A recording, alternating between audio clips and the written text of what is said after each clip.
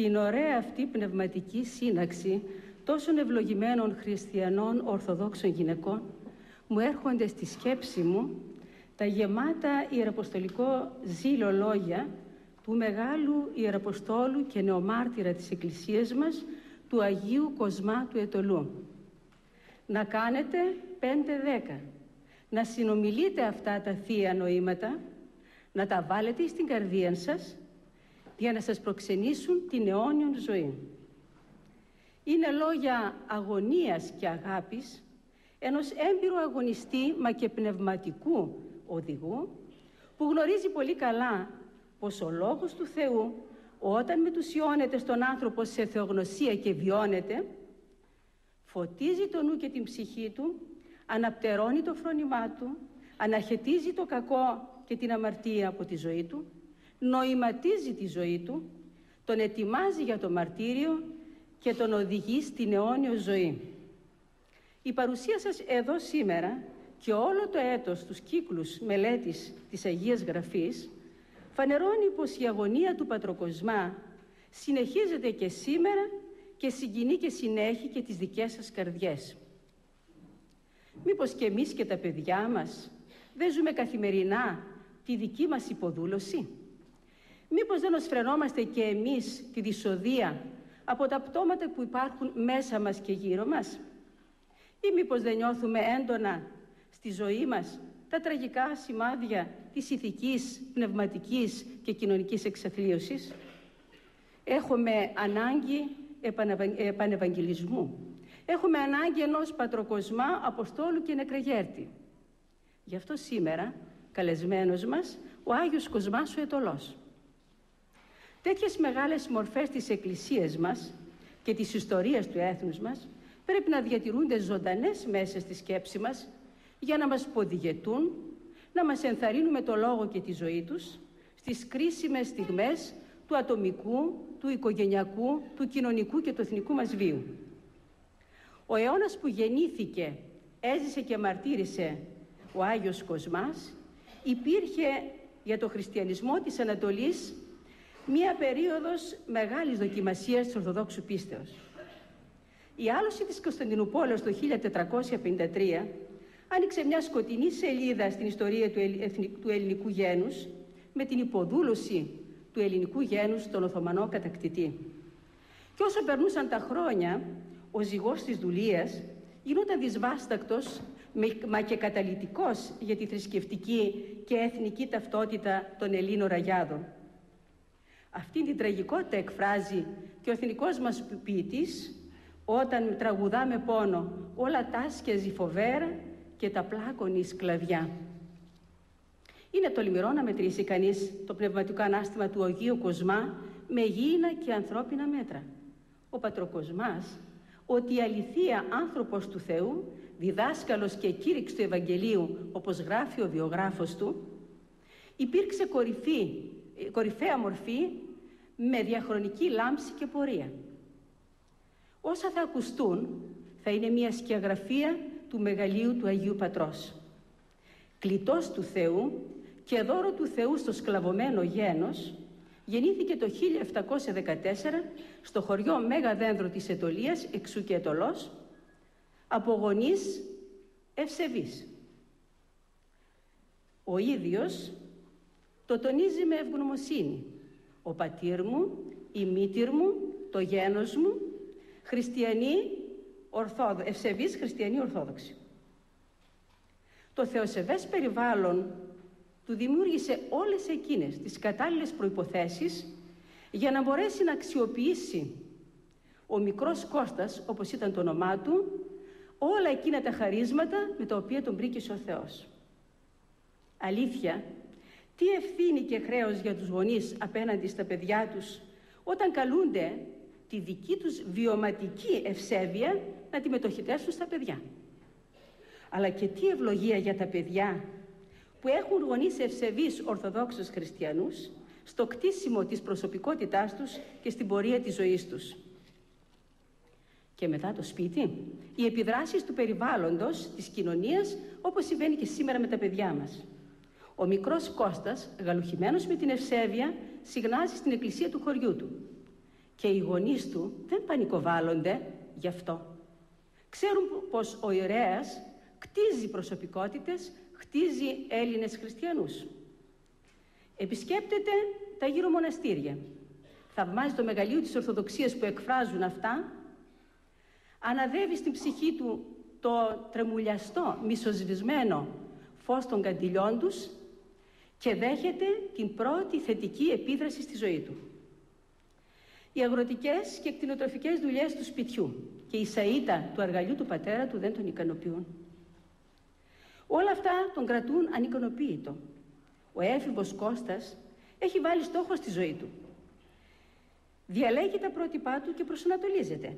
Έχει μπροστά του κάποια πρότυπα του χωριού του που έζησαν πριν από αυτόν και είναι οι λόγοι και ενάρετη κληρική, ο Όρδιος και ο Ευγένιος Γενούλης. Οι διδάσκαλοι αυτοί του γένους έκαναν το πάνε για να βγάλουν την πατρίδα τους από την αθλειότητα και από την αγραμματοσύνη.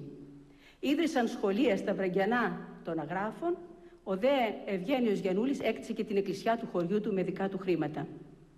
Μεγαλύτερη όμως επίδραση στην απαλή ψυχή του Αγίου έκανε ο Άγιος Ιάκωβος ο Νεομάρτης που ασκήτευσε στην Ιερά Μονή του Τιμίου Προδρόμου στην περιοχή του που περιόδευσε ολόκληρη την Ελλάδα κηρύττοντας και εξομολογώντας το σκλαβωμένο λαό. Ένας πόθος αναπήδηξε μέσα του. Αχ, να μπορούσε να τους μιμηθεί. Να βοηθήσει και αυτός το γένος. Μα αυτοί ήξεραν γράμματα. Αυτός πλησιάζει τα 20 χρόνια του και είναι αγράμματος. Άραγε οι γονείς που φιλοδοξούν τα παιδιά τους να έχουν προκοπή στη ζωή τους παρέχουν τη δυνατότητα να διακρίνουν τα καλά από τα κακά πρότυπα. Τα μοντέλα που καταρακώνουν τη θεϊκή εικόνα και τα πρότυπα που την ανεβάζουν και την καταξιώνουν. Άρα δίνουν στα παιδιά τους τις ευκαιρίες εκείνες και τα φέρνουν σε επαφή με πνευματικά πρότυπα και ολοκληρωμένα πρότυπα, ώστε να γεννηθούν μέσα τους ευγενείς πόθοι και να αναρρυπιστούν τα υψηλά ιδανικά. Ο Γερμανός ποιητής Γκέτε έλεγε «Άνθρωπε, ό,τι αγαπάς, αυτό και εσύ θα γίνεις. Θεός, τον Θεό αν αγαπάς και γη, την γη αλατρεύεις». Φιλομαθής και εργατικός όπως ήταν, πηγαίνει στη Σιγδίτσα της Παρασίδος και μετά στα Βραγκιανά των Αγράφων για σπουδές. Εκεί μαθαίνει λίγα γράμματα. Τώρα μπορεί να διαβάζει το Ευαγγέλιο και το Ευαγγέλιο αναθερμένη τον πόθο μέσα του να βοηθήσει και αυτό στον πλησίο του και να γίνει ωφέλιμος στους άλλους. Αυτό εξάλλου είναι και η αληθινή φιλανθρωπία και αγάπη. Συνηθίζουμε να περιορίζουμε και να εξοφλούμε τη φιλανθρωπία μας σε μια προσφορά εξ ανάγκης, εξήκτου ή και από ηλαρότητα υλικών αγαθών. Κι όμως η πιο μεγάλη βασική και αληθινή φιλανθρωπία είναι η προσφορά του Θεού στον συνάνθρωπό μας. Γιατί όταν αποκτήσει τη γνώση του Θεού, τότε έχει διαφορετική θεώρηση όλων των πραγμάτων στη ζωή του. Και τη φτώχεια του την κάνει μέσω σωτηρίας με την υπομονή και την αγώγιστη συμπεριφορά του, αλλά και με την ανεπιφύλακτη παράδοσή του στην πλούσια πρόνοια του Θεού. Σήμερα οι άνθρωποι είναι τόσο κοντά στα διαμερίσματα και φωνα... στα διαμερίσματά τους και φωνάζουν απελπιστικά άνθρωπο νου και έχω. Τους δίνουμε το Θεό, βρίσκουν το Θεάνθρωπο και τους σώζει. Η αληθινή φιλανθρωπία βρίσκεται στο μεγαλείο της αγάπης και της θυσίας για τον συνάνθρωπο χάρη της αγάπης του Θεού. Αυτό το νιώθει έντονα ο Άγιος Κοσμάς. Η καρδιά του είναι πύρινη φλόγα. Πηγαίνεις στα αλομποτινά της συναπακτίας, κοντά στο σοφό ιεροδιάκονο Ανανία Δερβιτσάνο, για να ολοκληρώσεις τις σπουδές του. Και εκεί, με τη δική του καθοδήγηση, διδάσκεις στους μικρούς μαθητές. Χωρίς ειδική κατάρτιση, χωρίς φίτηση σε γυμνάσια και διδασκαλία. Με μόνο οπλισμό τα λίγα του γράμματα, επιτυγχάνει πολλά. Γιατί έχει βάλει σαν βάση της παιδαγωγικής του την αγάπη στο παιδί και διδάσκει με ένα δικό του σύστημα όρθιος. Είναι δυστυχώς αυτή η αγάπη που λείπει, και το λέω με πόνο, από ένα μεγάλο μέρος των σημερινών εκπαιδευτικών μας. Βιάζεται να διδάξει στα σκλαβωμένα Ελληνόπουλα για να διαλύσει από μέσα τους της πικτής σκλαβιάς τα σκοτάδια. Ο Άγιος Κοσμάς δεν περιορίζεται μόνο στο σχολείο. Δουλεύει και εξωσχολικά. Κηρύττει στην εκκλησία. Πλησιάζει το λαό. Πλησιάζει τον ιερέα του χωριού για να τον καταρτήσει, για να είναι και εκείνος σε θέση να καταρτήσει τους άλλους. Προσπαθεί να δημιουργήσει ένα υγιές περιβάλλον. Στον ταξιάρχη ανοίγει σχολείο και διδάσκει εκεί τα Ελληνόπουλα. Είναι ο αικίνητος δάσκαλος της, της τουρκοκρατίας. Και όλα αυτά τα χρόνια σημαδεύουν τη ζωή του. Μέσα τους σεισμικές δονήσεις, συγκλονισμοί. Πολλά σκέπτεται. Το Ευαγγέλιο τον πυρπόλησε.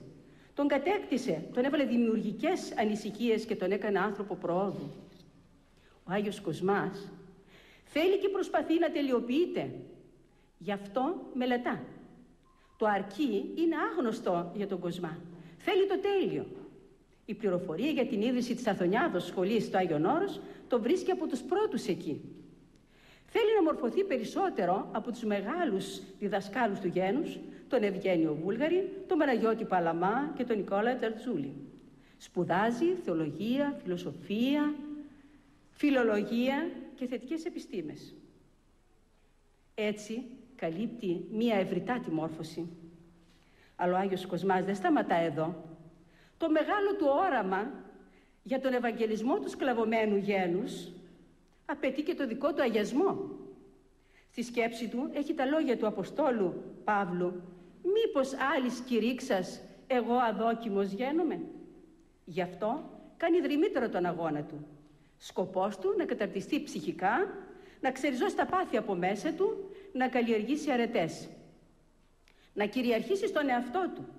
Αγωνίζεται 17 ολόκληρα χρόνια στο Άγιον Όρος για να εξαγνίσει και να καθαρίσει το εσωτερικό του, να ενωθεί με τον Χριστό και να επιτύχει τον αγιασμό του. Ε, τότε είναι που δέχεται και την άνωθεν κλίση για το αγγελικό σχήμα του μοναχού και αποσύρεται στην Ιερά Μονή Φιλοθέου, όπου κήρεται μοναχός και λαμβάνει το όνομα Κοσμάς και χειροτονείται ιερεύς σε ηλικία 45 ετών.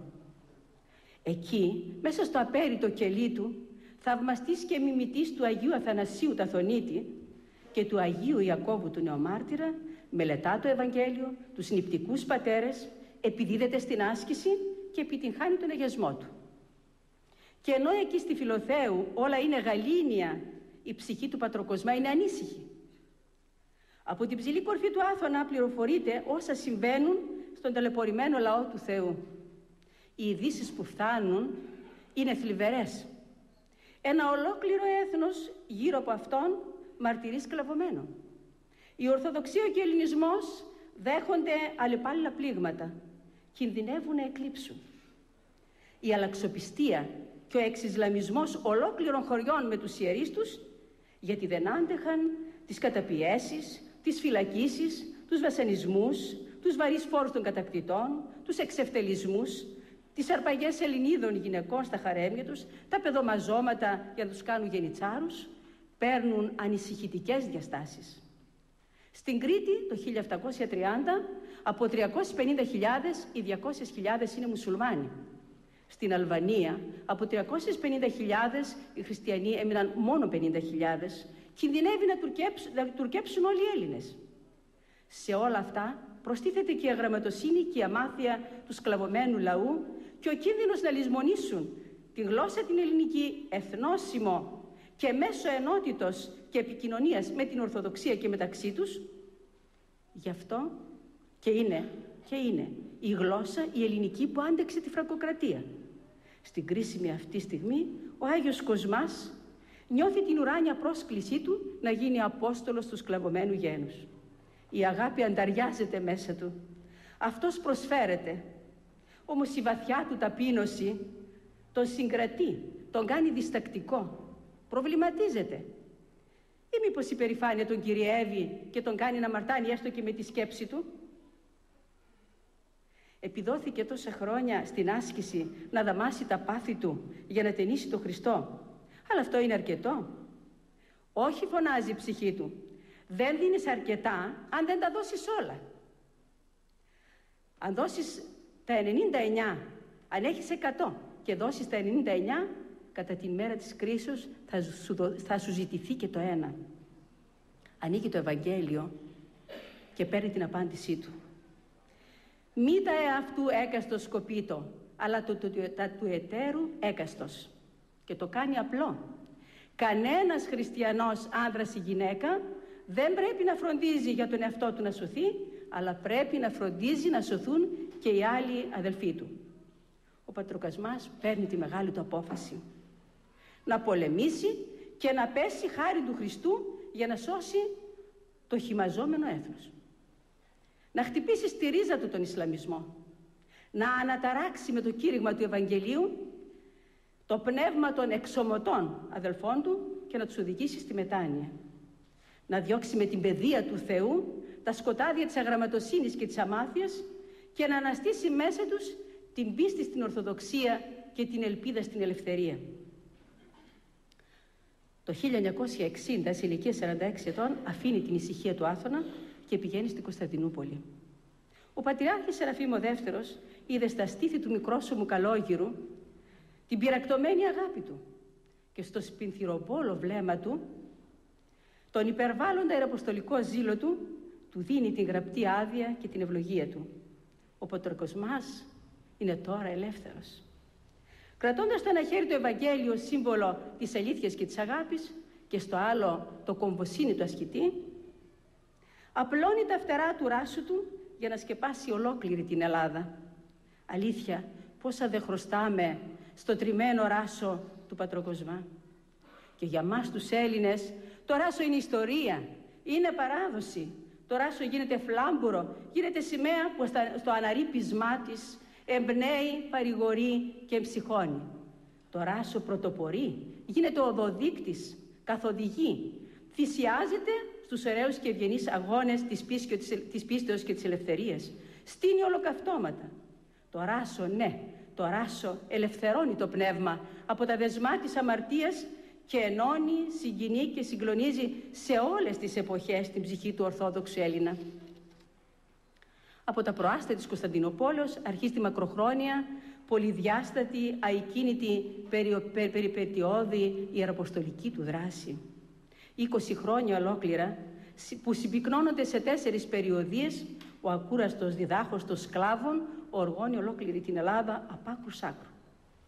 Κεντρική σταθμή του Θράκη, Μακεδονία, Θεσσαλία, Ετωλία, Καρνανία, Κυκλάδες και Δωδεκάνησα, Επτάνησα και Ήπειρος και Αλβανία. Αλλά και τα ψηλά βουνά είναι ο στόχος του.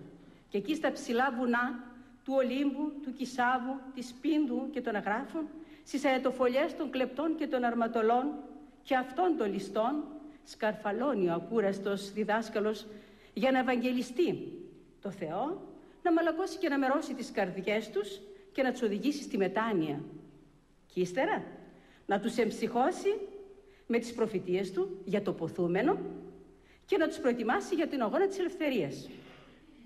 Η φωνή του καθάρια ελληνική, αφυπνιστική, προφητική, αληθινή προσευχή στο Θεό για το οικόδουλο γένος, αντυχεί πέρα ως πέρα στις λαγκαδιές και στα βουνά της ελληνικής γης. Αυτό μια μέρα θα γίνει Ρωμαϊκό. Το ακούν οι αγωνιστές του, της Επαναστάσεως. Ο καλόγυρος Σαμουήλ από το Κούγκι. Ο Κατσαντώνης, ο Λιδελιγιάννης, ο Δίπλας και άλλοι και αντριώνονται. Τα ακούει και ανασταίνεται ο Ρήγας ο Βελεστηλής για να ετοιμάσει το θούριό του. Γίνεται θρύλος ο Πατροκοσμάς. Στο όνομά του οι πολεμιστές τραγουδούν «Βοήθα, Γιώργη, και εσύ, Άγιε Κοσμά, να πάρουμε την πόλη και την Αγία Σοφιά». Ο Πατροκοσμάς πιστεύει πως χωρίς βαθιά πίστη στο Θεό και χωρίς πνευματική αντοχή η Επανάσταση θα αποτύχει. Γι' αυτό δεν παίρνει τα άρματα και τα καριοφύλια για να πολεμήσει τον Τούρκο κατακτητή. Παίρνει το ραβδί του Αποστόλου και με τις αναγεννητικές διδαχές του περιφέρεται από τόπο σε τόπο και επιτυχάνει την πνευματική Ανάσταση του γένους. Το κολικόνταση της Βορείου Υπήρου στο κολικόνταση της Βορείου Υπήρου, η πολυκύμαντη μαρτυρική ιεραποστολική πορεία του Αγίου Κοσμά έφτασε στο τέλος της. Σε μια επιστολή του στον αδελφό του Χρήσανδο, λίγο πριν το τέλος του κάνει τον απολογισμό του. Έως 30 επαρχίες περίλθον, 10 ελληνικά σχολεία επίσαν, 200 για τα κοινά γράμματα του Κυρίου Συνεργούντος. Το απόκριμα του θανάτου που έφερε μέσα του συνεχώς, τον Κύριό μου παρακαλώ να με αξιώσει να χύσω το αίμα μου για την αγάπη Του, καθώς και εκείνος έχισε το αίμα Του για τη δική μου αγάπη, εισακούστηκε από το Θεό. Οι εχθροί Του και εχθροί του γένους μας, οι Εβραίοι, που είχαν προαποφασίσει την εξόντωσή Του, το συκοφάντησαν ότι ο Άγιος Κοσμάς είναι απεσταλμένος στο Ρώσο για να ξεσηκώσει τους Έλληνες εναντίον του Σουλτάνου, δωροδόκησαν τον Κουρτ Πασά με 25.000 γρόσια και ο οποίος διέταξε τη σύλληψη και τη θανάτωσή του.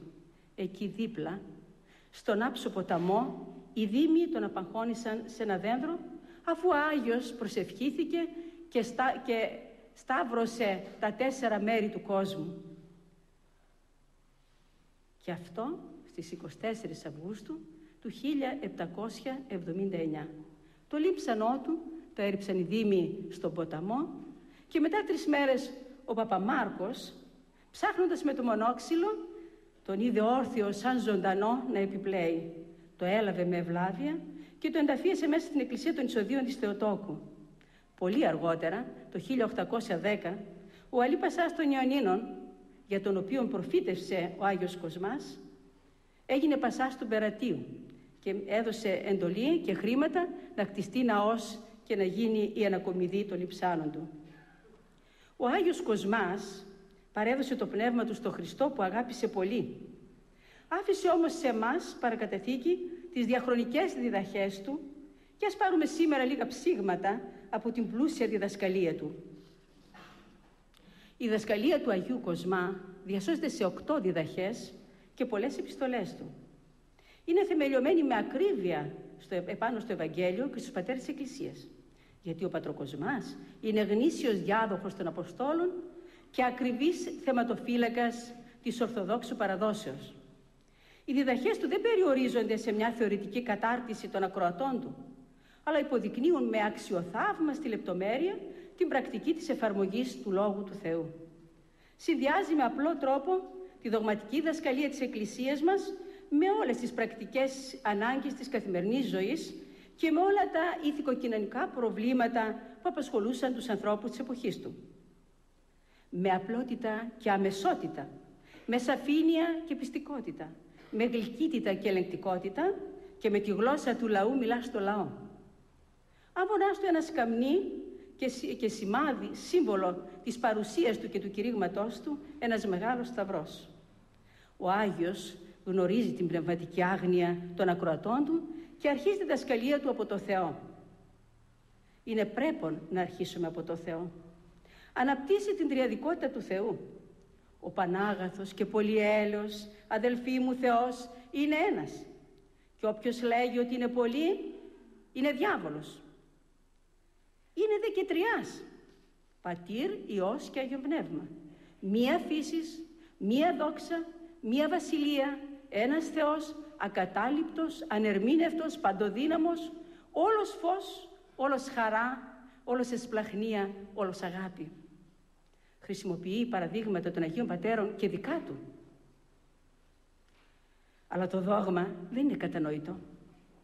Τότε υποδεικνύει έναν άλλον τρόπο, τον βιωματικό, με τη συμμετοχή στα μυστήρια της Εκκλησίας. Υπάρχει κι άλλος τρόπος, αδελφοί μου, για να καταλάβετε την Αγία Τριάδα. Πώς; να εξομολογηθείτε παστρικά και καλά, να μεταλαμβάνετε τα άχραντα μυστήρια με φόβο και τρόμο και ευλάβεια και τότε να σας φωτίσει η χάρη του Αγίου Πνεύματος να καταλάβετε, διότι με δασκαλία δεν μπορείτε να καταλάβετε. Αυτήν την Αγία Τριάδα εμείς πιστεύουμε και προσκυνούμε και δοξάζουμε. Και αυτή η πίστη πέρασε μέσα από την καρδιά του Πατροκοσμά. Εγώ εκπαιδεύτηκα αδελφοί μου, 40-50 χρόνους. Διάβασα πολλά και διάφορα βιβλία και περί Εβραίων και Ελλήνων και Ασεβών και ερετικών και Ήβρα ότι όλες οι άλλες πίστες είναι ψεύτικες και κάλπικες και μόνον η δική μας η χριστιανική είναι ορθόδοξος, αληθινή και Αγία.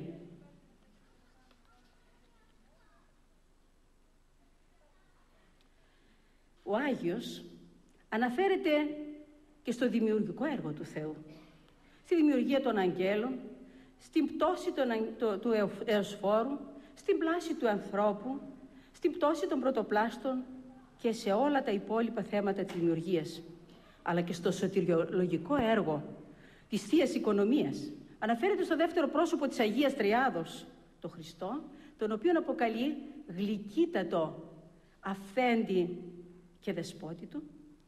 Τονίζει πως αυτός ο Χριστός από αγάπης στον άνθρωπο ενανθρώπισε, έπαθε, σταυρώθηκε και αναστήθηκε. Και πρέπει να τον πιστεύουμε και να τον λατρεύουμε και να τον προσκυνούμε και να τον αγαπούμε.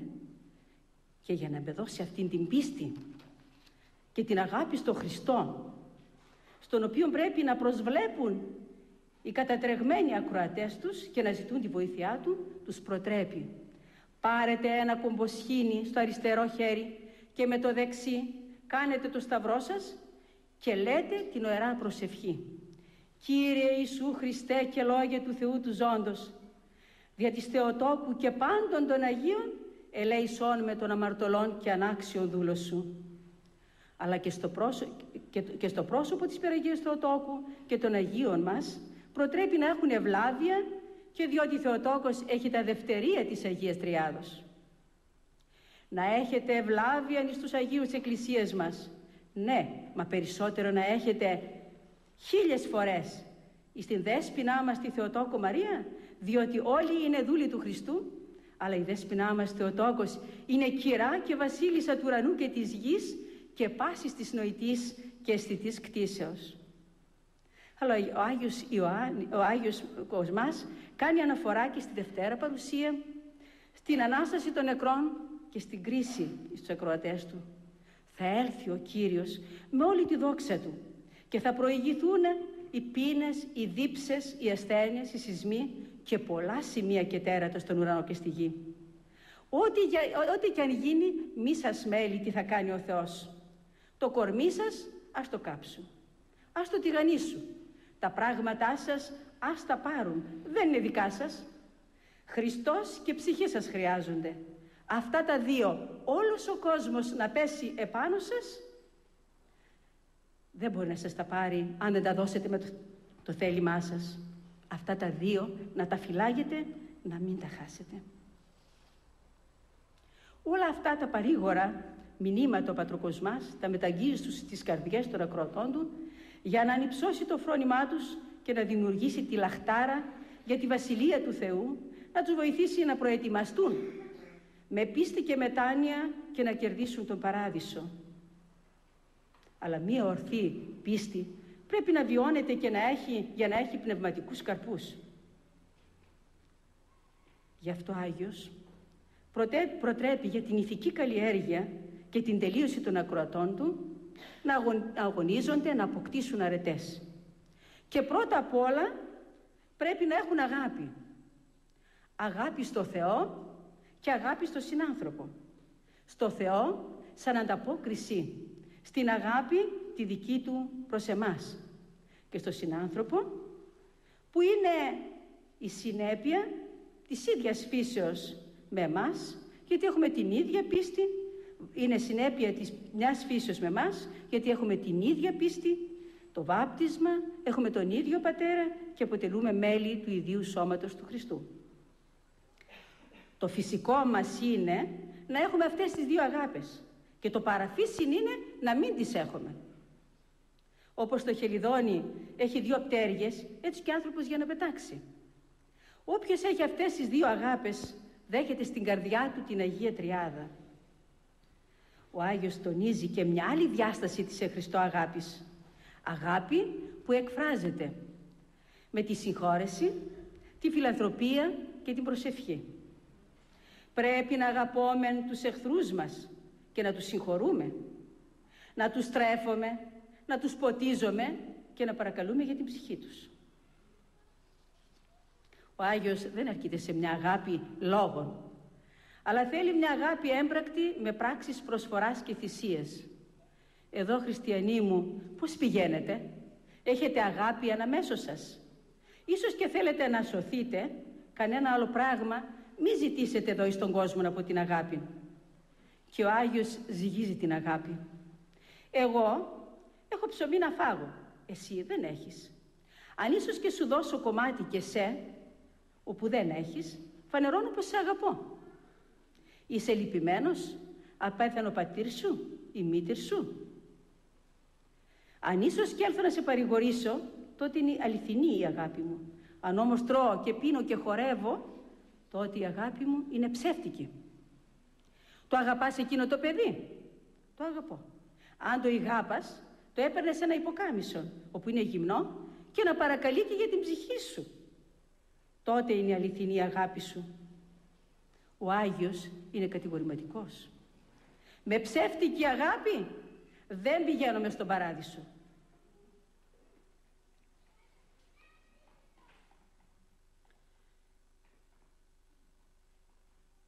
Αλλά εδώ τονίζει και την ταπείνωση.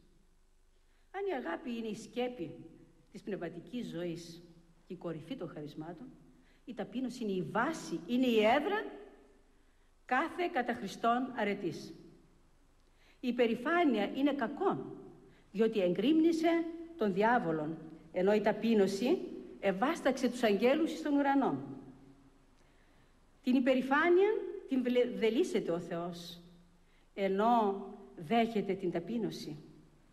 Έργο της περηφάνειας θεωρεί ο πατροκοσμάς και την επιδεικτική φιλαρέσκεια των γυναικών που στολίζονται από ματαιοδοξία. Μη βάλετε, θα πει στην κεφαλή σας, ασήμια και μαλάματα και κόκκινα ή κίτρινα μανδύλια, αμοιάσπρα μανδύλια. Έτσι δηλώνει τον κοινωνικό χαρακτήρα και της ταπεινοφροσύνης, εφόσον αυτή καταστέλει την κοινωνική πρόκληση που δημιουργούν οι πολυτελείς και εντυπωσιακές εδημασίες στους στοχούς ανθρώπους. Ο Άγιος Κοσμάς θέλει να ξεκαθαρίσει τη σκέψη, των, να ξεκαθαρίσει τη σκέψη των ακροατών του, τη διάκριση ανάμεσα στην ταπεινοφροσύνη και την ταπεινολογία. Με παιδαγωγικό τρόπο ερωτά. Εδώ πώς πηγαίνετε, την ταπεινοφροσύνη την αγαπάτε ή την υπερηφάνεια; Εγώ Άγιε του Θεού αγαπώ την ταπείνωση, λέγει ένας ακροατής. Έκβαλε τα φορέματά σου, ενδύσου πενιχρά φορέματα και γύριζε στην αγορά. Ντρέπεσαι, ναι. Τότε μη λέγεις ότι έχεις ταπείνωση. Επίσης ο Άγιος μιλάει για μια βασική αρετή του ανθρώπου για την πνευματική του πορεία, την προσευχή. Να κάνουμε την προσευχή μας πρωί, βράδυ, μεσάνυχτα, στο φαγητό και σε κάθε στιγμή της ζωής μας. Αλλά να κάνουμε με την προσευχή μας και το σταυρό μας σωστά και εξηγεί τι σημαίνει ο σταυρός.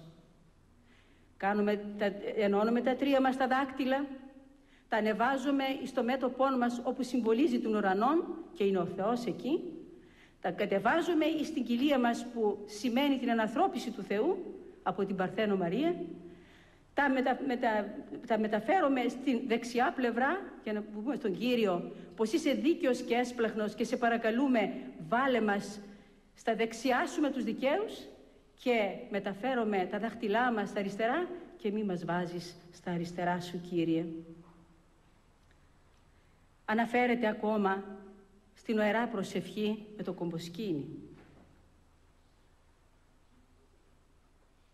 Αναφέρεται και στη δύναμη του Σταυρού. Να κάνουμε πάντα το Σταυρό μας, σε κάθε περίπτωση της ζωής μας. Στο, πας στο παζάρι, να κάνεις το Σταυρό σου. Στο χωράφι, στο αμπέλι, θα φάγεις το ψωμί σου. Όταν πίνεις το κρασί σου, το οπορικό σου. Όταν κοιμηθείς και προσκυνήσεις τον Θεό, να σταυρώσεις και το σώμα σου και ύστερα να πλαγιάσεις. Ο Σταυρός διώχνει τους δαίμονες, όταν έχουμε βέβαια καθαρά χέρια και μας διασφαλίζει από τον διάβολο γιατί όπου τυπώνεται το σημείο του Σταυρού ο διάβολος έντρομος και κατησχημένος φεύγει.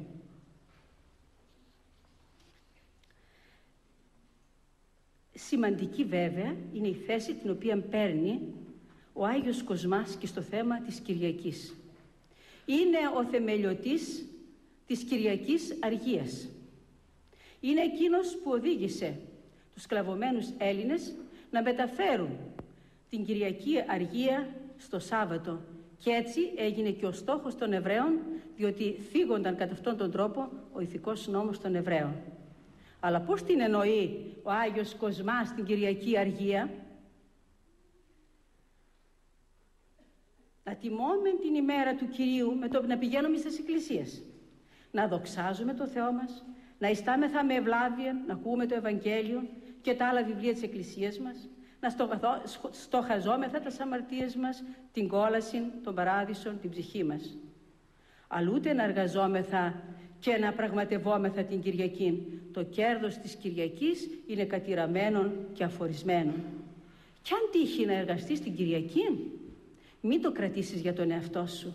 Δώσ' το ελεημοσύνη στους φτωχούς. Αλλά ο Άγιος καυτεριάζει και την αδικία. Και είναι χαρακτηριστικά τα λόγια του.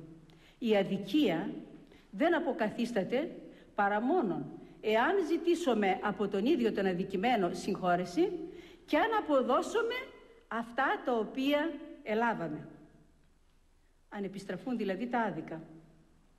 Και κοντά στην αδικία βέβαια, η οποία είναι συνδυασμένη και με την κλοπή, οδηγεί τους ακροατές τους στη μετάνοια λέγοντάς τους ότι κι αν αδίκησαν όχι μόνο αδερφούς τους αλλά και Τούρκους και Εβραίους και εχθρούς τους και σε αυτούς να αποδώσουν τα άδικα. Όποιος παίρνει, κρατάει το άδικο δεν έχει προκοπή στη ζωή του. Και για τη θεραπεία της αδικίας αυτής προτρέπει την εργασία και αποδοκιμάζει την οκνηρία η οποία και είναι η αιτία της κλοπής διότι η οκνηρία οδηγεί στη φτώχεια και η φτώχεια οδηγεί, οδηγεί στην κλοπή που είναι ένα εύκολο κέρδος. Χριστιανοί όλοι με κόπο να βγάζετε και να, με κόπο να βγάζετε το ψωμί σας και να ζείτε. Εκείνο το ευλογεί ο Θεός. Το ψωμί που βγαίνει με τον υδρότα και τον κόπο του δουλευτή είναι ευλογημένο και η εργασία γίνεται πηγή χαράς για τον εργατικό άνθρωπο. Αλλά και τον πλούτο καυτεριάζει. Μας χάρισε ο Θεός πλούτο. Έχουμε χρέος να τρώγουμε και να πίνουμε το αρκετόν μας. Τα ρουχαλάκια μας τα αρκετά και τα επίλοιπα να τα ξοδιάζουμε εις τους φτωχούς για την ψυχή μας. Και δεν μας έδωσε τον πλούτο να πολυτρώγουμε, να κάνουμε πολύτιμα φορέματα, μεγάλα και ψηλά παλάτια και να χορεύουν τα ποντίκια μέσα αύριο και οι φτωχοί να πεθαίνουν από την πείνα. Αυτό είναι το χρέος μας για τον πλούτο που μας έδωσε ο Θεός. Ο Άγιος κάνει λόγο και για την Εκκλησία. Βεβαίως η Εκκλησία είναι το σύνολο των πιστών, κληρικών και λαϊκών. Όμως ο Άγιος δίνει και έμφαση και συνδυάζει αυτήν τη δογματική αλήθεια και με το ναό που είναι ο τόπος όπου μυστηριακά συναντάται όλο το σώμα του Χριστού. Αυτό ήταν πολύ αναγκαίο για τους ραγιάδες, γιατί μέσα στην κοσμοχαλασιά της σκλαβιάς, ναός σε κάθε πόλη και χωριό, υψωνόταν σαν σύμβολο φωτεινό και σύμβολο ενότητος. Εκεί μέσα οι χριστιανοί έβρισκαν παρηγοριά και προστασία, μεταλάμβαναν τα άχραντα μυστήρια και ένιωθαν αυτή την αλήθεια ότι είναι το, όλο το σώμα του Χριστού και ότι αυτοί είναι τα μέλη του Χριστού. Ο Άγιος Κοσμάς για να κάνει περισσότερο κατανοητή αυτή την αλήθεια χρησιμοποιεί την εικόνα της κυβωτού του Νόε για να καταλήξει να πει όσοι αδελφοί εισέλθουν μέσα στην Εκκλησία θέλουν συγχωρηθεί τα αμαρτήματά τους και τα σφαλματά τους. Άλλος θέλουν πνιγεί μέσα στα σφαλματά τους αν μείνουν έξω από την Εκκλησία. Και εδώ κάνει μία λεπτομέρεια ο Άγιος Κοσμάς. Εξηγεί γιατί υπάρχει το σήμαντρο στην Εκκλησία και λέγει ότι ο Νόε που είχε περισυλλέξει μέσα στην Κιβωτό διάφορα ζώα, προσωπικό κλπ. Άφηνε τα ζώα το πρωί να φεύγουν στη βοσκή και μετά χτύπαγε το σήμαντρο για να συγκεντρωθούν πάλι μέσα στην Κιβωτό. Έτσι κάπως οι ερμηνευτές, οι συγγραφείς ερμηνεύουν πως καθιερώθηκε και έμεινε και στην Εκκλησία μας το σήμαντρο για να σημαίνει και να οδηγεί τα παιδιά του Θεού μέσα στο χώρο της Εκκλησίας. Τόσο πολύ ο ναός είχε μπει στη ζωή τους που κάποτε Ο Γιώργος Τσερτέτη στα άπαντά του αναφέρει ένα περιστατικό με έναν περιηγητή. Ο περιηγητής περιφερόμενος βρήκε έναν τζομπάνο επάνω στα βουνά και δίπλα ήταν να ξοκλήσει. Το ρωτά, τι πιστεύεις; Και εκείνος χτυπάει με την μαγκούρα του και λέει, ό,τι πιστεύει αυτή, η εκκλησούλα. Και τι πιστεύει αυτή, ό,τι πιστεύω και εγώ. Ο ναός, η εκκλησία, είχε ταυτιστεί με τη ζωή του κάθε Έλληνα ραγιά. Ο Άγιος, για να ενώσει ακόμη περισσότερες ψυχές των υποδούλων, με την εκκλησία λέει «Η εκκλησία, η Αγία Εκκλησία μας είναι σαν τη μάνα. Όταν σφάλει ο Υιός της, το μαλώνει και πάλι το συμπαθά. Και η Αγία μας Εκκλησία, λέει άλλη φορά, είναι πηγή που ποτίζει όλους τους διψασμένους. Με αυτό τονίζει πως η στην Εκκλησία βρίσκει καθένα στην ικανοποίηση όλων των αναγκών του και των προβλημάτων στη ζωή του. Ο Άγιος κάνει λόγο και για τα μυστήρια της Εκκλησίας μας και ιδιαίτερος για την αναγκαιότητα του βαπτίσματος. Το πρόβλημα την εποχή εκείνη ήταν σοβαρό. Πολλά παιδιά πέθαναν αβάπτιστα, ίσως και γιατί δεν υπήρχαν ιερείς για να τα βαπτίσουν. Και ο Άγιος επισημαίνει αυτήν την αναγκαιότητα του βαπτίσματος, διότι είναι το πρωταρχικό βάπτισμα, ε, ε, μυστήριο της Εκκλησίας μας που εισάγει τον άνθρωπο του προπατορικού αμαρτήματος μέσα στην Εκκλησία και τον πολιτογραφεί στη Βασιλεία των Ουρανών. Τι λέγει λοιπόν; Ο αβάπτιστος και ρεξομολόγητος άνθρωπος είναι αδύνατο να σωθεί. Γι' αυτό προτρέπει στους γονείς να βαπτίσουν τα παιδιά τους για να μην πεθαίνουν αβάπτιστα. Και μάλιστα, εάν λείπει ο ιερέας και το παιδί κοντεύει να πεθάνει, και οι γονείς και οι συγγενείς και οι μαμοί μπορούν να το βαφτίσουν και με χώμα. Εάν δεν υπάρχει νερό και λάδι, με λίγη, λίγο χώμα. Και αν δεν υπάρχει και το χώμα, τότε με το αεροβάπτισμα. Αλλά και για την σωτηριολογική αξία της εξομολογήσεως κάνει λόγο. Ο ανεξομολόγητος άνθρωπος είναι όμοιος με τον αβάπτιστο και είναι αδύνατο να σωθεί. Και αναφέρει τα εξής χαρακτηριστικά. Εάν κοινωνήσει κανείς χωρίς να εξομολογηθεί, δεν ωφελείται σε τίποτε, ίσα ίσα βλάπτεται, γιατί η κοινωνία είναι άξια. Εάν εξομολογηθεί και δεν προλάβει να κοινωνήσει, τότε υπάρχει ελπίδα σωτηρίας γι' αυτόν. Βεβαίως, εννοεί μια εξομολόγηση που γίνεται με διάθεση συγχωρήσεως των αδελφών μας και των εχθρών μας. Με συντριβή και με μετάνοια.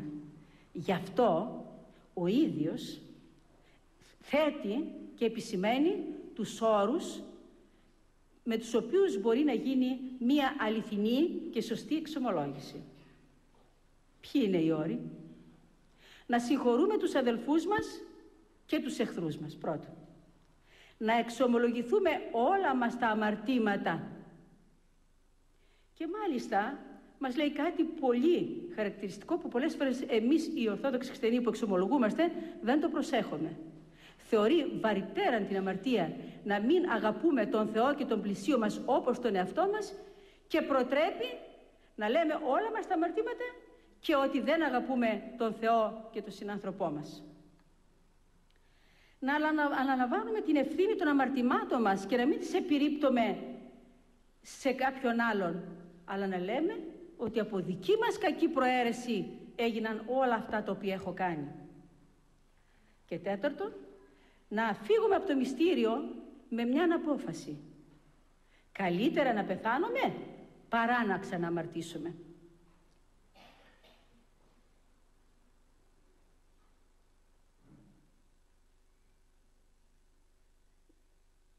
Και να μην ξεχνούμε, λέγει, ότι η εσπλαχνία του Θεού είναι μία καταβόθρα μέσα στην οποία ρίχνουμε τα αμαρτήματά μας και εξαφανίζονται. Γι' αυτό είναι για να πιστεύουμε ότι όταν εξομολογούμαστε με ειλικρίνεια όπως ακριβώς πρέπει να εξομολογούμαστε τότε δεν μένει τίποτα μέσα μας, βγαίνουμε καθαροί όπως την ημέρα του βαπτίσματος. Ως προς το θέμα της ιεροσύνης, Ο Άγιος θέτει τον ιερέα υψηλότερα από τον βασιλέα και τον άγγελο. Εγώ λέει, αν συναντήσω έναν παπά και ένα βασιλιά, θα βάλω τον παπά να καθίσει ψηλότερα από τον βασιλιά. Και αν συναντήσω έναν παπά και έναν άγγελο, θα φιλήσω το χέρι του ιερέα και ύστερα του αγγέλου. Και το λέει αυτό για να επισημάνει ότι τα χέρια του ιερέα κρατούν τα άχραντα μυστήρια και είναι ιερότερα και από του αγγέλου. Με αυτή τη θέση ο Άγιος Πατήρ συμβουλεύει οι κοσμικοί να μην βρίζουν, να μην κακολογούν τους ιερείς, ούτε να τους περιφρονούν, αλλά να τους ευλαβούνται. Εκείνοι, λέει, είναι άμεσα υπεύθυνοι για την τα σφάλματά τους ενώπιον του Θεού και κρατάει σιδηρά ράβδο για αυτούς ο Χριστός.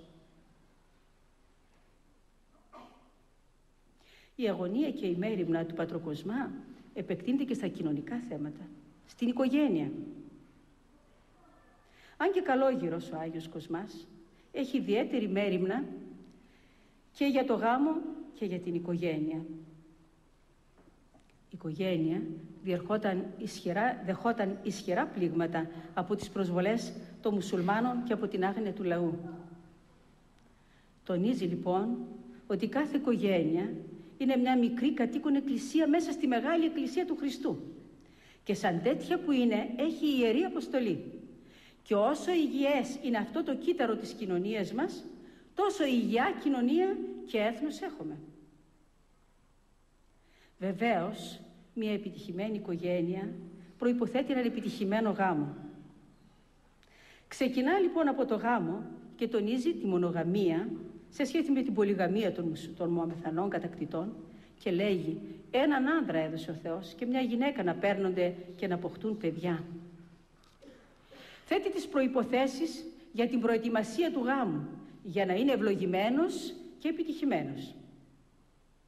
Πρώτη προϋπόθεση, η γυναίκα που θα πάρει ο άνδρας να μην είναι συγγενής του. Ο Άγιος θέτει σε επιστημονική βάση το θέμα για να εξασφαλιστεί και η υγεία των παιδιών. Δεύτερον, να έχει τον φόβο του Θεού στην ψυχή της και να είναι στολισμένη με την εντροπή. Αυτά θα θεωρεί κόσμημα της γυναίκας και μέσα σε αυτά βλέπει και την ωραιότητα της ψυχής. Η εξωτερική ομορφιά δεν τον ενδιαφέρει. Τρίτον, αποτρέπει τον άνδρα να θέσει κριτήριο της επιλογής της γυναίκας του από την κοινωνική της θέση και από την οικονομική της ευμάρεια. Χαρακτηριστικά λέει, πήρες πλούσια γυναίκα, έγινες εσύ σκλάβος, επήρες ραβδί στην κεφαλή σου. Πήρες γυναίκα φτωχή, επήρες σκλάβα. Με αυτόν τον τρόπο, πολύ πριν καταργηθεί μέσα από την πολιτισμένη κοινωνία μας ο θεσμός της πρίκας, ο Πατροκοσμάς υπέσκαψε τα θεμέλια του θεσμού και διακήρυξε το γάμο ως δεσμό πνευματικό και όχι συμβόλαιο ιδιοτελείας και συμφέροντος. Δίνει πράγματι αυτό το στίγμα με την προτροπή του. Οι μελόνυμφοι να προετοιμάζεστε, να εξομολογήσετε και να κοινωνείτε και μετά να στεφανώνεστε μέσα στην Εκκλησία. Μόνον έτσι ψυχές καθαρές και ενωμένες με την πίστη στον Κύριο μπορούν να προχωρήσουν και σε μια ένωση η σάρκα μία, δυνατή η σάρκα μία. Για να εξασφαλίσει την ομολή πορεία του γάμου και της οικογένειας ο Άγιος Κοσμάς, ως γνήσιος φεμινιστής αποκαθιστά τη γυναίκα στην οικογένεια και φροντίζει να αποσπάσει 1500 γυναίκες που γαλουχούσαν τα παιδιά των Τούρκων από τα χαρέμια των Τούρκων. Θέτει τα όρια, θα λέγαμε, του αληθινού φεμινισμού σε αντίθεση με το σύγχρονο φεμινισμό που εξέρχεται των φυσικών ορίων με καταλυτικές συνέπειες για τη σύγχρονη οικογένεια. Ο Άγιος θα διακηρύξει για να περιορίσει την αυταρκικότητα του άνδρα. Ίσια την έκαμε ο Θεός τη γυναίκα με τον άνδρα, όχι κατωτέρα. Δεν την έκανε από την κεφαλή για να μην καταφρονά τον άνδρα. Ομοίως πάλι δεν την έκαμε από τα πόδια για να μην την καταφρονά ο άνδρας. Αλλά από τη μέση του ανδρός για να είναι ο άνδρας ο σαν ο βασιλεύς η κεφαλή και η γυναίκα ο σαν ο βεζίρης το σώμα. Αλλά όχι μόνο λόγω της δημιουργίας είναι ίση, αλλά και διότι έχουν κοινές εκκλησιολογικές προϋποθέσεις. Ο άντρα να μην μεταχειρίζει τη γυναίκα ως σαν σκλάβα, διότι πλάσμα είναι και εκείνη καθώς και εσύ. Τόσο εσταυρώθηκε ο Θεός δι' εσέ, όσο και δι' εκείνη.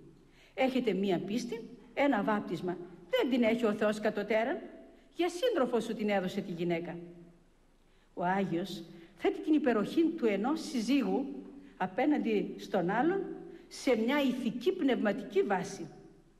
Αν ίσως αδελφοί μου θέλετε να είστε καλύτεροι άνδρες από τις γυναίκες, πρέπει να κάνετε έργα καλύτερα από αυτάς.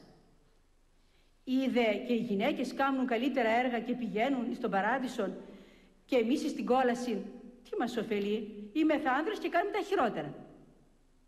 Εγώ βλέπω, λέει κάτι πολύ σημαντικό εδώ, εγώ βλέπω εδώ που περπατώ και διδάσκω. Είπα ένα λόγο για τις γυναίκες και σκέπτονται να ρίψουν τα περιτά σκουλαρίκια τους, τα δαχτυλίδια τους, τα κοσμήματά τους και με οίκουσαν ευθύς.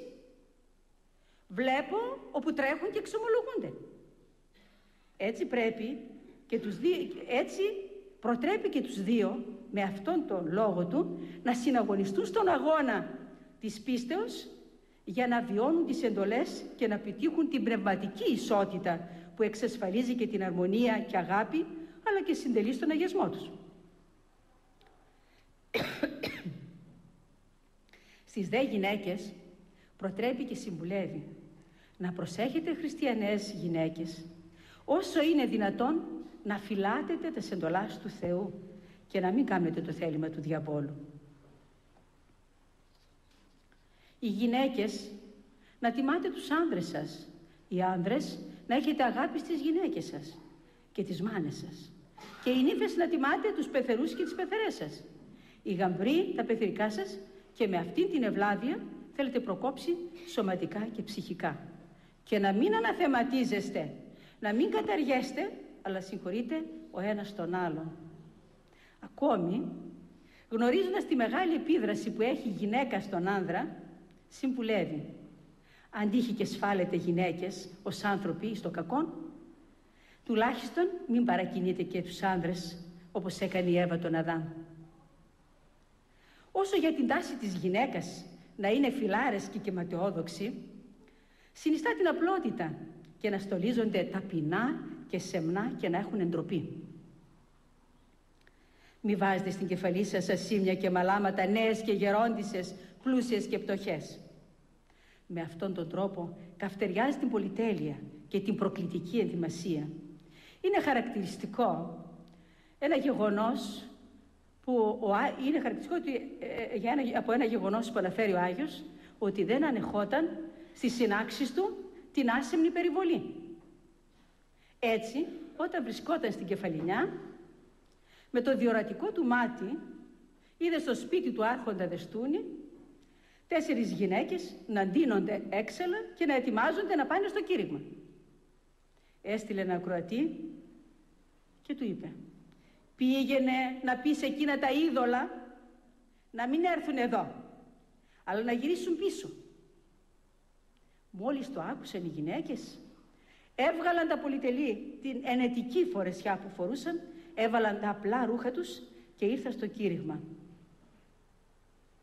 Και μία από αυτές, όπως λένε οι συγγραφείς, όταν χείρεψε έγινε και μοναχή.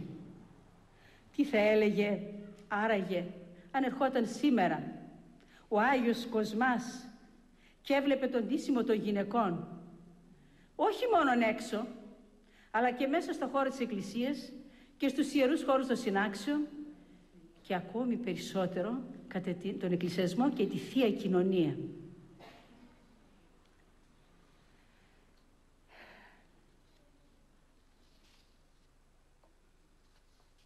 Ο Άγιος για ιδανική ομορφιά προβάλλει ως μοντέλο το μοντέλο της Αγίας Παρασκευής που ήταν πολύ αγαπητή στο λαό. Λέγει. «Και μετεχειρίζεται η Αγία Παρασκευή ως θιασίδια τα δάκρυα εθιμουμένη τα αμαρτίες της, ως σκουλαρίκια να ακούει τα, τα ότα της ανοιχτά για να ακούει τις Αγίες Γραφάς, ο Σκορδόνη είχε τα σπολά συνιστίας όπου έκαμνον το, λε, το λαιμό της να λάμπει ως ο ήλιος, ως δακτυλίδια τους κόμβους των δακτύλων της από τις πολλάς μετανοίες όπου έκαμνε, ως χρυσού ζωνάριον την Παρθενία όπου εφύλαξε της όλη τη ζωή της, ως φόρεμα την εντροπή όπου είχε στον εαυτό της και ο φόβος του Θεού όπου την εσκέπαζε. Έτσι εστολίζεται η Αγία.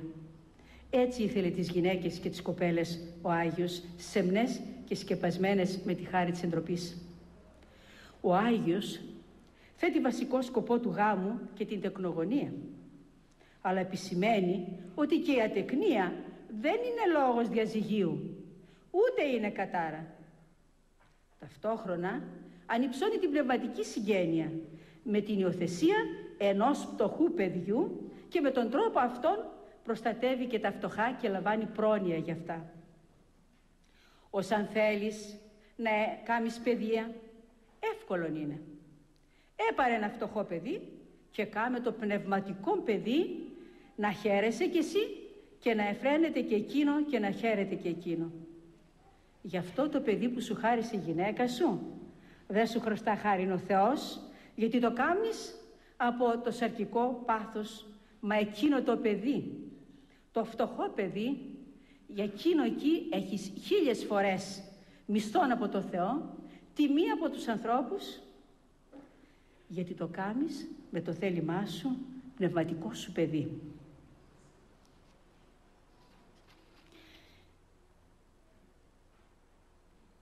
Και να προσέχεις εσύ άνδρα να μην μεταχειρίσει τη γυναίκα σου με άγριο μάτι πως δεν σου κάνει παιδιά. Δεν έχει φταίξιμο σε αυτό. Είναι το θέλημα του Θεού. Και εσύ άνδρα να μην χωρίζεις τη γυναίκα σου γιατί δεν σε έκανε παιδιά ούτε να τη χωρίζεις γιατί δεν σου έκανε, δεν σου έκανε αρσενικών και σου έκανε φιλικών. Και με την ευκαιρία αυτή επισημαίνει ότι δεν επιτρέπεται σε καμία περίπτωση να αφήνει ο άνδρας τη γυναίκα παρεκτός λόγου μοιχείας και θανάτου.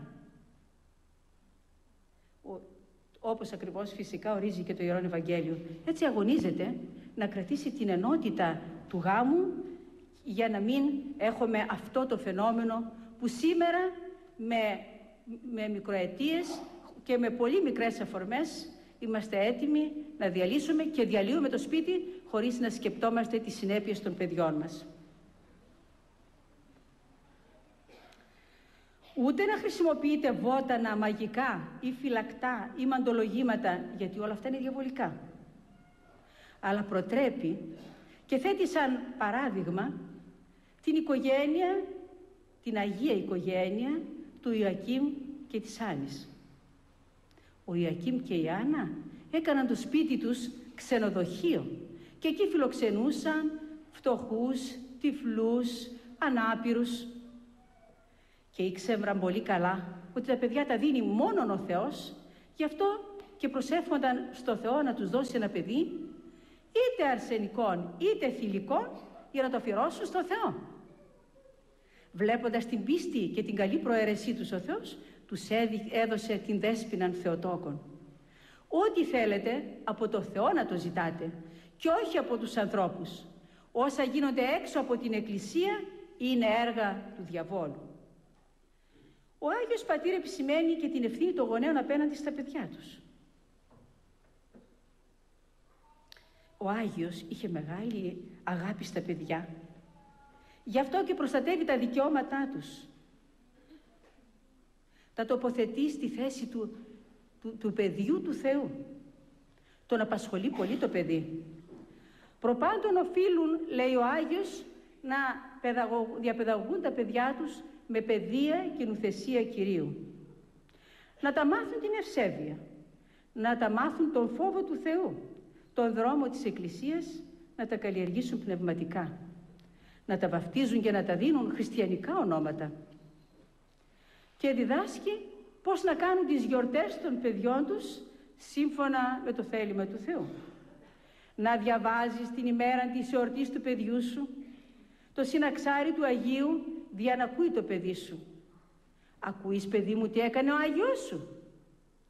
Έτσι να κάνεις και εσύ. Ακούγοντας το πεδίο τέτοια θαύματα του Αγίου, ζηλεύει και λέει «Αχ, πότε να γίνω κι εγώ σαν τον Άγιό μου». Εμείς τι κάνουμε στις ονομαστικές γιορτές των παιδιών μας; Καταρχήν έχουμε καθιερώσει περισσότερο από τις ονομαστικές τα γενέθλια, τα γλέντια, τις κοσμικές εκδηλώσεις. Και δεν αρκείται να συμβουλεύει τι πρέπει να κάνουν στην ονομαστική γιορτή για τη χριστιανική ανατροφή. Δίνει ιδιαίτερη βαρύτητα στην αγωγή. Και αυτό ιδιαίτερα στη μητέρα. Γιατί αυτή είναι στην πρώτη θέση της παιδαγωγού του παιδιού. Συστήνει λοιπόν ο Άγιος να κάνεις μια εικόνα του Χριστού, της Παναγίας, του Αγίου Προδρόμου και μία του Αγίου του παιδιού σου. Και όταν το παιδί σου σηκώνεται από τον ύπνο του και σου γυρεύει ψωμί, μην του δίνεις μόνο να πάρεις το ψωμί, να το βάλεις εμπρός στην εικόνα του Χριστού και να του υπείς. Εγώ παιδί μου δεν έχω ψωμί. Έχει ο Χριστός. Σήκω να κάνεις το σταυρό σου, να παρακαλέσουμε τον Αγιό σου, να παρακαλέσει τον Χριστό για να μας δώσει το ψωμί. Και έτσι το παιδί παρακινείται από την αγάπη του ψωμιού να προστρέχει στον Άγιό του την ώρα που θα, κάθε μέρα που θα ξυπνάει από τον ύπνο του. Και όταν βλέπει ο διάβολος μια τέτοια συμπεριφορά του παιδιού, τότε φυσικά φεύγει από το παιδί. Έτσι να συνηθίζετε και να παιδεύετε από μικρά τα παιδιά σας εις των καλών δρόμων. Επειδή εκείνα τα δύσκολα χρόνια υποβιβάζονταν η αξία του παιδιού και του ανθρώπου και αδικούνταν, ο Άγιος τονίζει και την πραγματική σχέση του γονιού προς το παιδί. Το ονομάζει πρόσωπο και το θεωρεί πλάσμα αγαπημένο του Θεού. Καταργεί κάθε διάκριση μεταξύ των φίλων των παιδιών και ανάμεσα στα φτωχά και εγκαταλειμμένα και στα πλούσια. Μάλιστα, εδώ ο Άγιος χτυπάει τον ατομισμό, το συμφεροντολογισμό των οικογενειών και ανοίγει τις καρδιές και τις πόρτες των σπιτιών και βάζει μέσα τη χριστιανική αγάπη που είναι έσπλαχνη και δεν έχει όρια. Λέγει λοιπόν στους ευκατάστατους γονείς που έχουν και, τους, και περιποιούνται τα παιδιά τους αν θέλεις να ζήσει το παιδί σου εγώ θα σου είπε τι θα κάνεις να κάνεις του παιδιού σου ένα φόρεμα και άλλο ένα εκείνου του παιδιού του φτωχού. Και για το χατήρι του φτωχού παιδιού ο Θεός θα χαρίσει τη ζωή και στο δικό σου το παιδί. Και να αγαπάς πολύ τα φτωχά παιδιά, καλύτερα από τα δικά σου. Αν αδιαφορείς, αύριο θα δεις το παιδί σου πεθαμένο. Αλλά και τα τέκνα συμβουλεύει ο Άγιος να υπακούν στους γονείς τους ομοίως και τα τέκνα, να τιμάτε και να σέβεστε τους γονείς σας, διότι ο όστης δεν τιμά και δεν υπακούει τους γονείς του εις το καλό, κολλάζεται. Και αυτό το καλό που λέει εδώ πέρα είναι σημαντικό. Όταν δηλαδή οι γονείς αποτρέπουν τα παιδιά τους να πιστεύουν στο Θεό, να πηγαίνουν στην εκκλησία, όπως συμβαίνει με μερικούς γονείς, εδώ ο Άγιος συμβουλεύει να μην τους ακούνε τους γονείς τους παρά μόνο όταν τους συμβουλεύουν εις το καλό. Όπως συμβαίνει και με τα παιδιά που πολλές φορές έχουν άγιες επιθυμίες, οι γονείς προσπαθούν να σταθούν εμπόδιο. Όμως, εδώ η φωνή του Θεού βρίσκεται πάνω από τη φωνή των γονέων. Το παιδί είναι τον, το, του Θεού και μετά είναι των γονέων. Αυτό έκανε και ο, ο, ο Πατριάρχης Αβραάμ σε σχέση με τον πατέρα του. Ο πατέρας του ήθελε να λατρεύσει τα είδωλα και τον έστειλε να αγοράσει ένα πρόβατο για να κάνουν θυσία.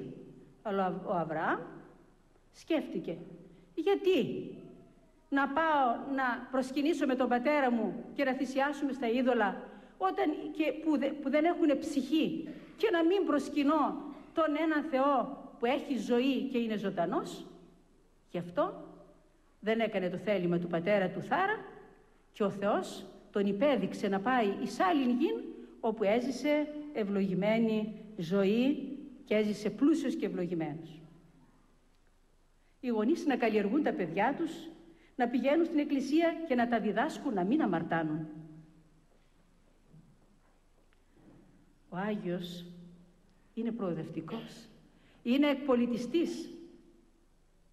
Παρακολουθεί όλα τα κοινωνικά προβλήματα της εποχής του και σπέβδει να δώσει τις ανάλογες λύσεις.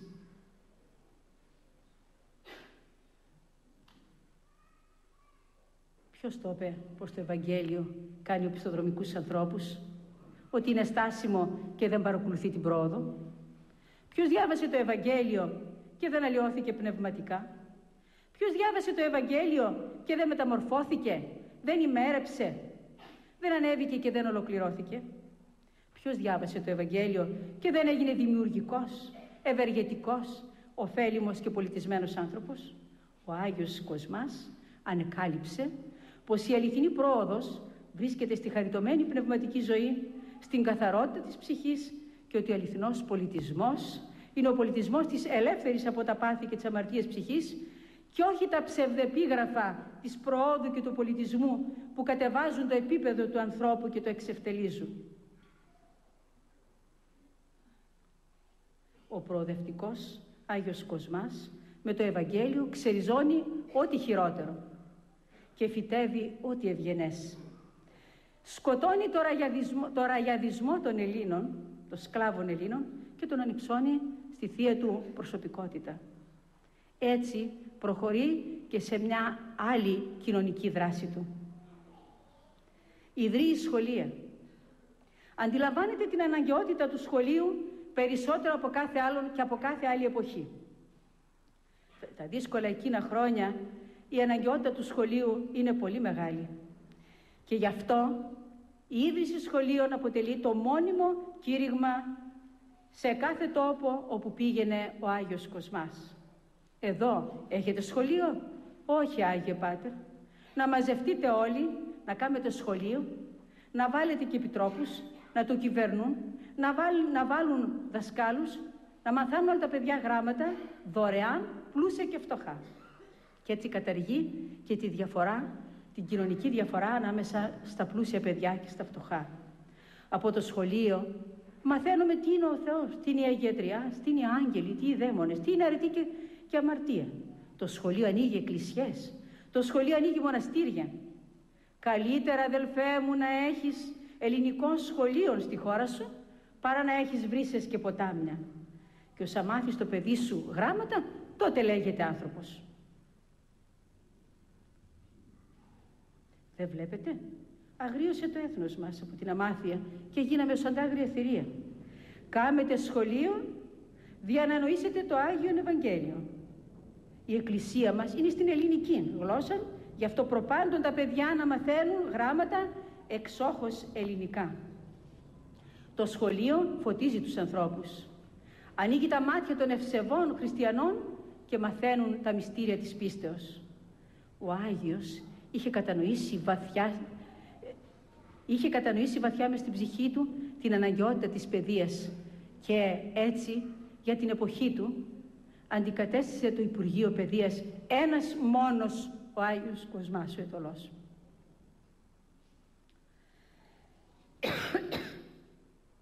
Ο Άγιος αγαπούσε το δημιουργό του, αλλά και την πλάση. Γι' αυτό προέτρεπε να φυτεύουν δέντρα, τους μάθαινε να μπολιάζουν δέντρα, να φυτεύουν δάση και να καλλιεργούν την γη για να τους θρέψει. Άραγε, θα το αναγνωρίσουν οι σημερινοί οικολόγοι για το σημαντικό έργο του. Ναι, και εδώ ανεπλήρωσε το Υπουργείο Γεωργίας. Ο Άγιος με λίγα λόγια υπήρξε για την εποχή του η μέρημνα πασών των αναγκών του σκλαβωμένου λαού του Θεού. Ο Ποτροκοσμάς από εκεί που βρίσκεται με το πνεύμα του συνεχίζει την αγωνία του και, σήμερα. Πού είσαι Πάτερ Κοσμά να δεις μια άλλη μορφή σκλαβιάς και υποδούλωσης; Να δεις τα σχολεία συνεχώς να αποχριστιανοποιούνται; Τα παιδιά να παραμορφώνονται από την αγραμματοσύνη; Να χάνουν τον προσανατολισμό τους; Πού είσαι να ακούσεις την αλλοιωμένη ελληνική γλώσσα που πνίγεται μέσα στις ξενογλωσσίες, τις ξένες μουσικές, με μια ανησυχητική αλλίωση της ταυτότητάς μας από την επίδραση των ξένων στοιχείων. Πού είσαι να δώσεις μαθήματα αληθινής προόδου και πολιτισμού και αυτοθυσίας. Πού είσαι να δεις τα παιδιά που τόσο αγάπησες και προστάτευσες και περασπίστηκες, που τα στροβιλίζει ο διάβολος και αμαρτία, να χάνονται καθημερινά σωματικά και ψυχικά. Πάτερ Κοσμά, σε παρακαλούμε από εκεί ψηλά που βρίσκεσαι. Πρέσβευε στο γλυκύτατο αφέντη και δεσπότη σου, όπως τον αποκαλούσες. Να μας δώσει, μικρούς και μεγάλους, όλους μας, το δικό σου ιεραποστολικό ζήλο και να παρακαλέσεις τον Κύριο να μας στείλει χάρη και φωτισμό και εμάς και τα παιδιά μας. Αγαπητές μου, ο Πατροκοσμάς είναι μαζί μας. Χάραξε γραμμές πλεύσεως για όλα τα προβλήματά μας, τα ηθικά, τα πνευματικά και τα κοινωνικά. Τώρα παραδίδει σε εμάς τη σκητάλη της Ιεραποστολής. Το έργο της Ιεραποστολής πρέπει να συνεχιστεί και αφορά όλους μας. Ναι, όλους μας. Μα ιδιαίτερα τους γονείς. Σε σένα, Ορθόδοξη Χριστιανή μητέρα, άλλος δρόμος από τον Ευαγγελισμό, ε, Ευαγγελισμό το δικό μας και των παιδιών μας δεν υπάρχει. Αγαπητές μας μητέρες, σώστε τα παιδιά μας. Σε εσάς ο Πατροκοσμάς αναθέτει το πρώτο χρέος. Αγιάζεστε, καταρτίζεστε με το Λόγο του Θεού και με τα μυστήρια της Εκκλησίας μας οι γονείς κατά Θεόν και καταρτίζετε και τα παιδιά σας εν παιδεία και νουθεσία Κυρίου. Εάν η ρίζα είναι Αγία και η κλάδη θα είναι Άγιοι. Και ο Άγιος Κοσμάς λέει να κατηγορήσω το μήλο; Όχι, τη μιλιά θα κατηγορήσω για την κακή ποιότητα του μήλου. Αγαπητές μας μητέρες, λυκνίστε και να ανουρίστε τα παιδιά σας με τις προσευχές και τις ψαλμοδίες σας από την ώρα που γεννιούνται. Οδηγήστε τα βυζανιάρικα μέχρι που να ανδρωθούν στο Ναό του Θεού. Συνειδητοποιήστε ότι τα παιδιά σας είναι παιδιά του Παμβασιλέως Χριστού και πρέπει να τα αναθρέψετε βασιλικά για να είναι εκεί οι κληρονόμοι της Βασιλείας του Θεού. Γνωρίστε τα με το Θεό. Μάθετε τα να προσεύχονται κάνοντας σωστά το σταυρό τους, ομαδικά στο σπίτι, στην εκκλησία, στο φαγητό και σε όλες τις στιγμές της ζωής τους. Βοηθήστε τα να νηστεύουν, να εξομολογούνται, ναι, από μικρά να εξομολογούνται. Να μαθαίνουν πως τα πεισματάκια τους, οι ανυπακοές τους, τα ψεματάκια τους είναι αμαρτία και πληγώνουν τον Χριστό. Οδηγήστε τα να κοινωνούν τον αχράντο μυστηρίων. Τακτικά, πολύ τακτικά. Αν είναι δυνατόν κάθε γιορτή και Κυριακή, για να χαριτώνονται και να είναι άτρωτα από τον σατανά. Δείξτε τα τον ουράνιο πατέρα και μάθετε τα να ζητούν αυτά που θέλουν και έχουν ανάγκη από το Θεό. Μάθετε τα να εμπιστεύονται όλη τη ζωή τους και όλα τα προβλήματά τους στο Χριστό. Μάθετε τα να εκκλησιάζονται στον Ιερό Ναό, γιατί όχι και αν θέλουν να υπηρετούν στο Ιερό, να τα αφήνετε να νιώθουν αυτήν τη χαρά και μην πανικοβάλλεστε. Τα παιδιά σας δεν θα γίνουν ούτε παπάδες ούτε καλόγυροι. Το έργο αυτό είναι του Θεού, δεν είναι ανθρώπινο. Θα είναι οι καλύτερες εμπειρίες των παιδιών σας όταν μεγαλώσουν. Μάθετε τα να ζουν όλες τις λεπτομέρειες της πνευματικής ζωής. Δείξτε τα το δρόμο της του καθημερινού μαρτυρίου και πώς και τον τρόπο πώς να τον περιπατούν. Μιλήστε τα για την αιώνια ζωή, μιλήστε τα για την αιώνια πατρίδα. Η φιλοδοξία σας να μην είναι μάταιη, ματαιόδοξη και κενή, να γίνουν μεγάλοι και τρανοί. Αφιλοδοξήστε να πλάσετε αληθινούς ανθρώπους του Θεού. Τότε κτίζετε ευλογημένα σπίτια. Αλλά προσέξτε, Τίποτε δεν επιτυγχάνεται χωρίς τη συνέπεια στη δική σας ζωή. Ο καλύτερος διδάσκαλος και μάλιστα σήμερα στην απογοήτευση των νέων από τους γονείς και τους μεγάλους είναι να δώσετε και να δώσουμε όλοι στο παιδί μας έμπρακτα το δικό, το δικό μας και το δικό σας ζωντανό παράδειγμα. Είναι η ωραιότερη αποστολή, η ιεραποστολή στη ζωή μας.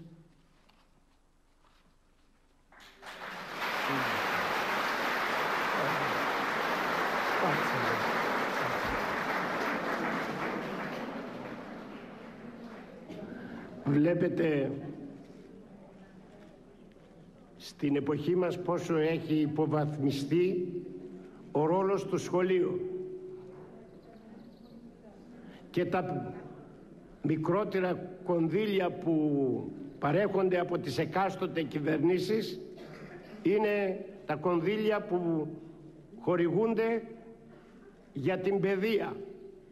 Εάν δεν έχουμε παιδεία, εάν δεν έχουμε σχολεία, εάν δεν έχουμε δασκάλους, εάν δεν έχουμε ανθρώπους ολοκληρωμένες προσωπικότητες, δεν μπορούμε να περιμένουμε πρόοδο και αλλαγή σε αυτήν την κοινωνία.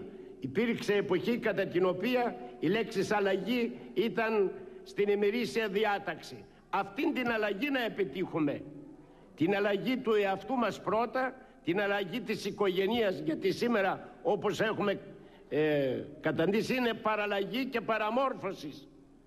Δεν δίδεται μόρφωση στα παιδιά, δεν προσφέρεται αγωγή στα παιδιά.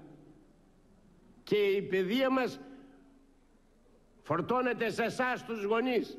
Κοβεντιάζοντας με πολλούς εκπαιδευτικούς, λένε μα ξέρετε δεν μας βοηθάει το σπίτι, δεν μας βοηθάει η οικογένεια. Έτσι μας έρχονται τα παιδιά. Εμείς θα κάνουμε το μάθημα και θα σηκωθούμε να φύγουμε.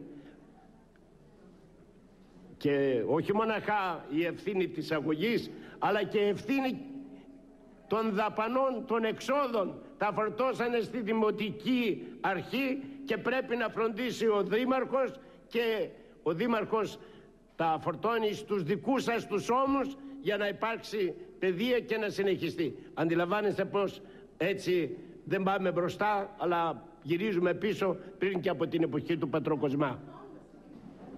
Εδώ έχουμε και δυο πατέρες, τον πατέρα Ιωάννη και τον πατέρα Αντώνιο, εκλεκτούς κληρικούς. Ο πατήρ Ιωάννης είναι εκπαιδευτικός, είναι ιερεύς και δάσκαλος. Θα παρακαλούσαμε να απευθύνει ένα χαιρετισμό και να μας πει κάτι γιατί ε, μήπως είπαμε και πράγματα τα οποία δεν ανταποκρίνονται στην πραγματικότητα και φύγουμε έτσι τη σχολική οικογένεια και γενικότερα το πρόβλημα της παιδείας μας. Εγώ θέλω να πω, πατέρα Θεόφιλε, ότι δεν μπορούμε να περιλάβουμε όλους τους εκπαιδευτικούς στην κακή πλευρά του σχολείου. Υπάρχουν εκπαιδευτικοί οι οποίοι προσφέρουν μεγάλο, ε, μεγάλο αγώνα κάνουν, δίνουν την ψυχή τους και όλο το είναι τους. Έχουμε εκπαιδευτικούς οι οποίοι πραγματικά αγωνίζονται για τα παιδιά μας. Βεβαίως υπάρχουν και οι κακές πλευρές, η κακή πλευρά των εκπαιδευτικών, αλλά τι να κάνουμε, έχουμε δημοκρατία, προσπαθούμε εμείς με τον τρόπο μας κάθε στιγμή να βάλουμε ένα λιθαράκι. Έχουμε εκπαιδευτικούς οι οποίοι είναι πολύτεκνες οικογένειες, έχουμε εκπαιδευτικούς οι οποίοι εξομολογούνται και κοινωνούν των αχράντων μυστηρίων και κάνουν το καθήκον τους όπως πρέπει ως καλοί χριστιανοί. Βεβαίως, μην τρέξουμε στα παλιά που ο εκπαιδευτικός, ο δάσκαλος ήταν ο δάσκαλος ο οποίος από το πρωί ως το βράδυ ήταν κοντά στο παιδί και το παιδί τον είχε τον δάσκαλο σαν το είδωλό του. Σήμερα οι εκπαιδευτικοί ε, φεύγουν και από το σχολείο νωρίς Προσφέρουν όμως καλό έργο. Πρέπει να επενέσουμε για αυτούς τους εκπαιδευτικούς οι οποίοι δίνουν ό,τι μπορούν. Ε, θέλω και εσάς να σας παρακαλέσω σαν γονείς, γιατί ξέρουμε ότι όλα τα βάρη μην τα ρίχνουμε στους εκπαιδευτικούς και οι γονείς να αναλάβουν τις ευθύνες τους, να αναλάβουν το βάρος των φορτίων, να μην ασχολούνται τι βαθμό πήρε το παιδί μου. Εγώ λέγω στο σχολείο και συντάξει. Θέλω παιδιά πρώτα να σας βλέπω να είστε καλά παιδιά, να είστε χρήσιμοι χρηστοί άνθρωποι και μετά καλοί μαθητές. Αυτό θα είναι το ιδανικό. Αν όμως ο γονέας προσπαθεί το παιδί να πάρει ή το 10 ή το 20 και από εκεί πέρα δεν με ενδιαφέρει τι θα κάνει και να υπάρχει αυτός ο αθέμητος ανταγωνισμός, ε, δεν είναι καλό αυτό. Δεν ωφελεί, δεν οικοδομεί. Προσπαθήστε σαν καλές μητέρες, σαν χριστιανές μητέρες, δώστε στα παιδιά σας αυτά που πρέπει, την ευγενία άμυλα να μορφωθούν, αλλά με τον Χριστό μέσα τους. Δώστε ό,τι μπορείτε στα παιδιά σας και μην τα ρίχνετε όλα στους εκπαιδευτικούς. Έχουν τις ευθύνες τους οι εκπαιδευτικοί. Αλλά και οι γονείς να αναλάβουν τις ευθύνες. Ευχαριστώ πολύ. Υπάρχουν έντιμοι εκπαιδευτικοί οι οποίοι ζουν την αγωνία των παιδιών. Και αυτό που λέει ο πατήρ Ιωάννης, να βοηθήσουμε όλοι, γιατί στη θέση αυτή έχουμε και τον παράγοντα εκκλησία, η οποία οφείλει να διαθέσει περισσότερο ενδιαφέρον για την παιδεία και για την αγωγή των παιδιών. Γιατί τα παιδιά της πολιτείας είναι και δικά της παιδιά. Ε, να προσθέσουμε ότι η παρουσία του Αγίου Κοσμάτου Ετωλού του Νεομάρτυρος αποτελεί μια απάντηση στο ερώτημα που βασανίζει όλους μας. Τι να κάνω εγώ ένας άνθρωπος είμαι. Τι μπορώ να κάνω εγώ, μια απλή γυναίκα είμαι. Τι να κάνω εγώ, μια απλή εργάτρια είμαι. Ή μια απλή δασκάλα.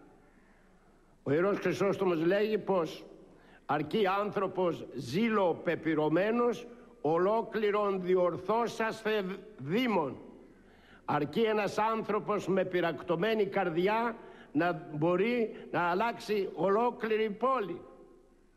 Επομένως, ο Άγιος Κοσμάς ο Ετωλός που είδαμε πως ξεκίνησε, πως προχώρησε, πως πήρε τις ευλογίες του Πατριάρχου και πως ξεκίνησε με το ραβδί του, με την απλότητά του, με το σκαμνί του, με το σταυρό που έστεινε όπου στεκότανε για να μιλήσει στο σκλαβωμένο γένος μας, ναι, κατόρθωνε να δίδει ελπίδα στο σκλαβωμένο λαό. Ένας λαός σκλαβωμένος 400, 400 χρόνια και 500 εμείς. Οι Έλληνες της Βορείου Ελλάδος, της ελληνικής μας Μακεδονίας και της Τράκης. Αντιλαμβάνεστε πως η ευθύνη όλων μας είναι μεγάλη.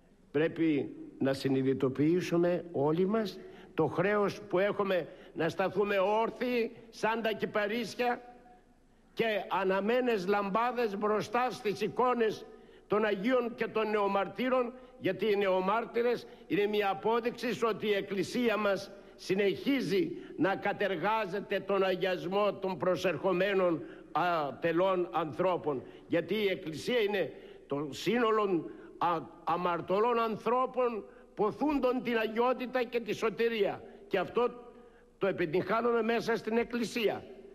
Είδατε η κυβωτός του Νόε έπαιρνε περιστέρια έβγαζε περιστέρια έπαιρνε κοράκια έβγαζε κοράκια. Έπαιρνε λύκο έβγαζε λύκο. Η εκκλησία που είναι η γυναία κυβωτός ε, παίρνει κοράκι και βγάζει περιστέρι.